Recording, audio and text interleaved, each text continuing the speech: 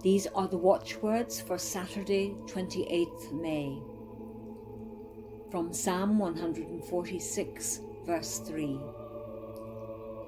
Do not put your trust in princes, in mortals, in whom there is no help.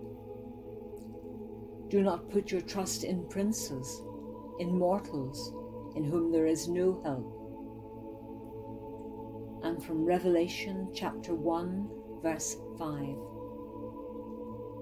Jesus Christ, the faithful witness, the firstborn of the dead, and the ruler of the kings of the earth. Jesus Christ, the faithful witness, the firstborn of the dead, and the ruler of the kings of the earth. Whom shall we trust but Thee, O Lord? Where rest but on Thy faithful word? None ever called on Thee in vain. Give peace, O God, give peace again.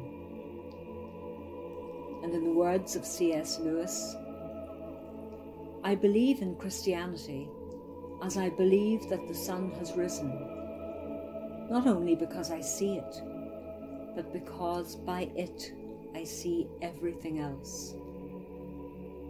I believe in Christianity as I believe that the sun has risen, not only because I see it, but because by it I see everything else.